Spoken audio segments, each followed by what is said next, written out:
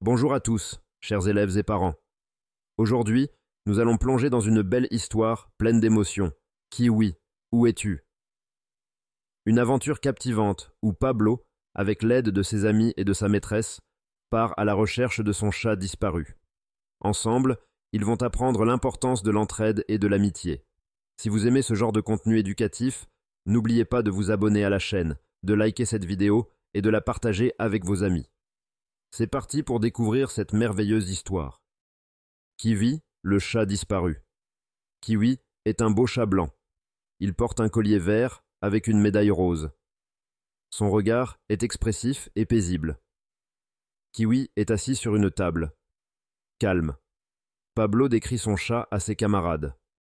Kiwi, le chat de Pablo, est un félin élégant, avec un pelage blanc immaculé. Son collier vert orné d'une médaille rose le rend facilement reconnaissable. En classe, Pablo décrit Kiwi à ses camarades avec beaucoup de détails.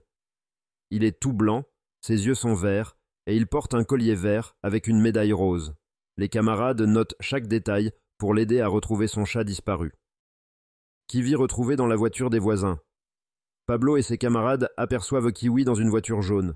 Le chat miaule doucement, il semble effrayé. Une élève ouvre la portière pour voir le chat de plus près. Pablo reconnaît immédiatement son chat. Les voisins expliquent comment Kiwi s'est retrouvé dans leur voiture. Après des heures de recherche, Pablo et ses camarades aperçoivent un chat blanc dans une voiture jaune. En s'approchant, ils entendent des miaulements faibles. Une élève ouvre doucement la portière et Pablo reconnaît Kiwi.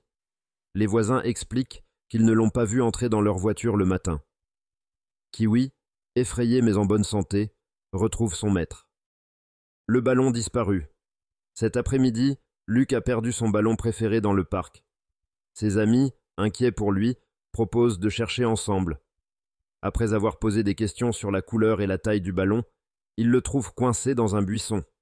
Luc est ravi de retrouver son ballon grâce à l'aide de ses camarades. La montre oubliée. En classe, Sarah se rend compte qu'elle a oublié sa montre dans la cour de l'école.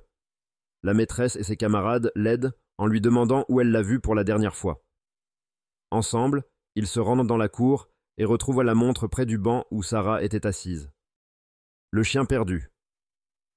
Maxime arrive à l'école en pleurant parce que son chien Rex s'est échappé. Les élèves imaginent qu'il a peut-être suivi un passant ou qu'il s'est caché dans le parc.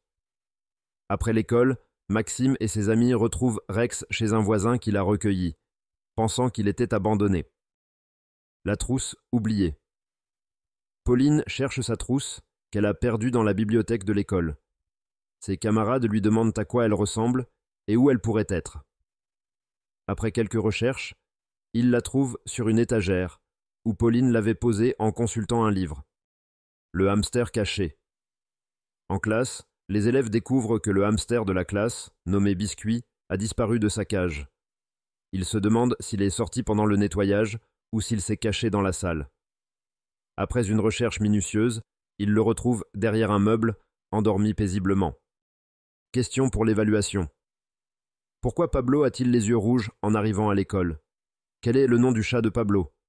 Où les voisins ont-ils trouvé Kiwi? Comment la maîtresse et les élèves ont-ils aidé Pablo? Pourquoi Kiwi s'est-il retrouvé dans la voiture des voisins? Et voilà, chers élèves et parents, la belle aventure de Pablo et son chat Kiwi se termine sur une note heureuse grâce à la solidarité et l'entraide de tous. Cette histoire nous rappelle combien il est important d'être à l'écoute et de s'entraider dans les moments difficiles.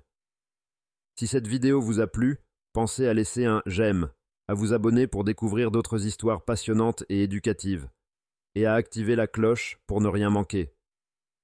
Merci de votre soutien, et à très bientôt pour une nouvelle aventure. Au revoir.